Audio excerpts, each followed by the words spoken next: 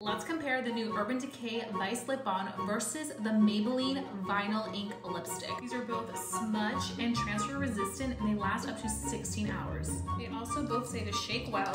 Packaging looks very similar. So on this side, Urban Decay.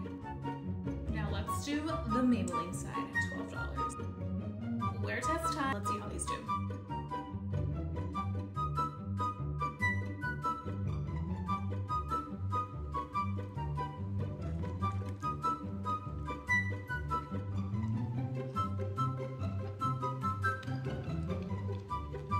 Okay guys, we worn these and these both stayed on literally the same. Look.